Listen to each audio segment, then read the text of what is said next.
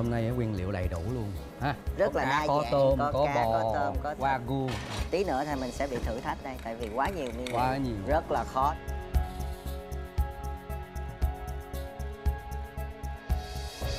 Wow đẹp quá.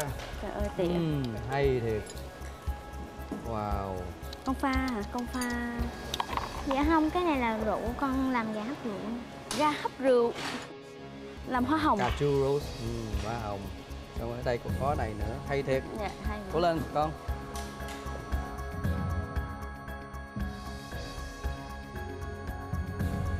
Cách con ơi! Mình còn ba chục phút nha. Cố lên.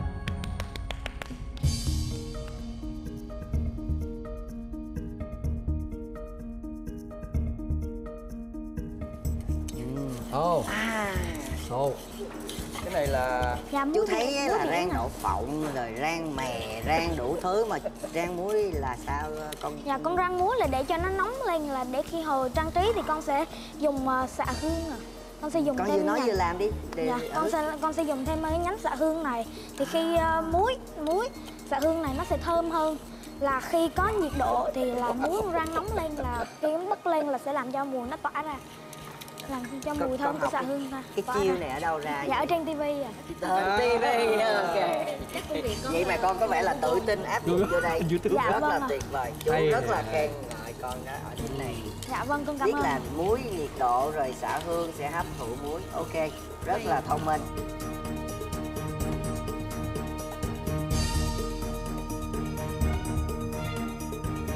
khi mà vô cái kho lấy nguyên liệu thì sau khi nghĩ là mình đủ hết tất cả rồi thì con quên lấy cái thứ quan trọng nhất để áp chảo bò đó là cái chảo. Và con thấy là cái này là cái sai lầm ngớ ngẩn nhất mà mình từng gặp phải. Này áp chảo bò. Ừ. tại sao đợi tới bây giờ mới chiên? Dạ tại vì là cái phần bò là cái phần quan trọng nên là mình phải làm mấy cái phần mà đề co lặt vặt. Như là cái ờ, cái rau cái salad rồi trước tại vì mình ăn cuối nên bò nó mới nóng nó Vâng. ngon hơn. Mình có cái tự tin là đủ thời gian nấu không con? Dạ đủ. Ừ, con nghĩ là đủ. Con tính rồi hả? Mới Dạ. nãy ờ, chú đã công bố là còn 30 phút nha. Dạ. Dạ cố lên con. Dường như ngày thi đấu đầu tiên này là sự tranh tài gây cấn của những đầu bếp món Âu thực thụ, thể hiện qua cách các bé lựa chọn nguyên liệu cao cấp cũng như kỹ năng nấu nướng rất chuyên nghiệp. Con cần gì nè chú hỗ trợ. Vậy cho con hỏi là để nướng cái lò mà nướng hai mặt bên trên dưới luôn. Hai mặt trên dưới luôn. Đây con nhìn thấy cái cái dĩ này không? Dạ con dặn tới cái nút cái dĩ này hai mặt là ok. Trong khi nấu thì con có nhìn qua cái bên bạn Thanh Hải thì nấu cái món um, steak rất là chuyên nghiệp lửa lên cao rồi khói nhìn rất là chuyên nghiệp mà nhìn lại món của mình. Thấy nó đơn giản quá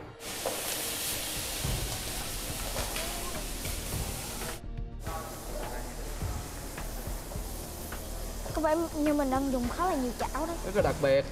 Dạ. Ừ. cái nhân là có gì ở trong con? Dạ thanh cua gà sống thịt uh, thì con làm trước đi tiếp làm nữa.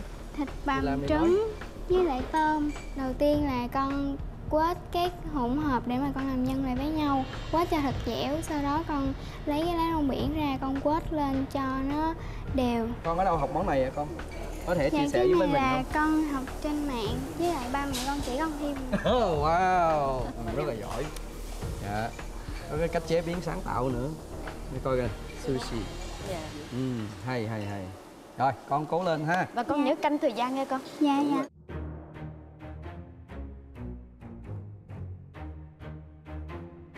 các con nhanh lên nhanh lên nào nhanh lên nào chỉ còn 20 phút thôi nha. Khi mà giám khảo thông báo cá hồi thì con chưa chiên nên con rất là run.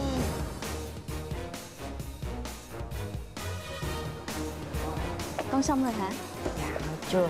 Món ăn của con con chưa từng tập lần nào hết lần này là con nấu lần đầu tiên mà con xem ở trên mạng thì con thấy mọi người làm rất ngon và mau nên con đăng ký. Có ở miền Tây à? dạ Ở, ở tỉnh nào? dạ ở đồng tháp thanh long. Tháp. món này là món tôm mà con? Không phải cà chua hả? à.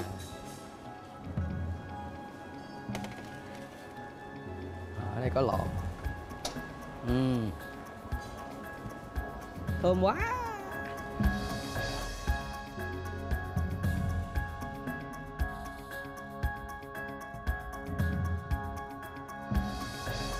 các đầu bếp nhí chú ý này. Các con chỉ có 7 phút nữa thôi. Hãy cố lên nhanh lên nào. Khi mà giám khảo thông báo còn có 7 phút.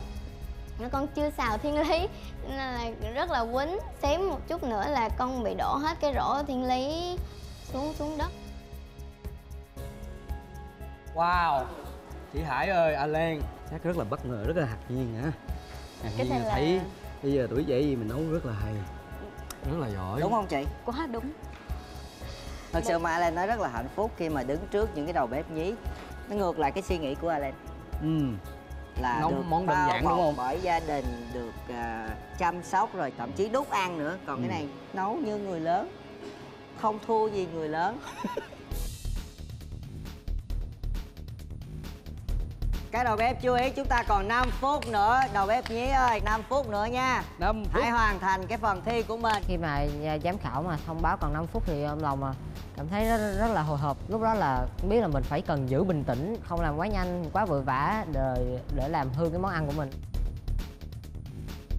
Các em làm á, sắp xếp từng cái công đoạn rất là logic và đặc biệt là giữ vệ sinh dạ. Chứ chứ thực sự có nhiều bằng người lớn nấu chưa chắc sạch như các em ở đây nè. Yes. Đấy hay. Mà có nghĩa là trong cái ý thức của các em là có cái chữ sạch ừ. trong nấu ăn rồi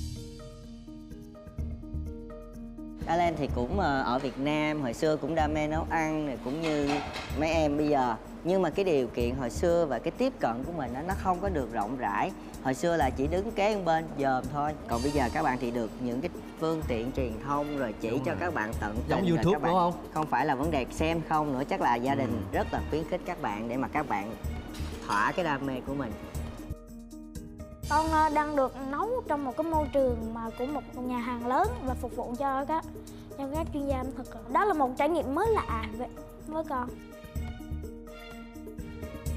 Các con chú ý các con chỉ còn có một phút nữa thôi. Nhanh lên cố gắng lên. Các con đã làm rất là tốt. Phần thi đã đi đến những giây phút cuối. Liệu các bạn nhỏ có đủ bản lĩnh để hoàn thành phần trang trí món ăn của mình không nào? 10 9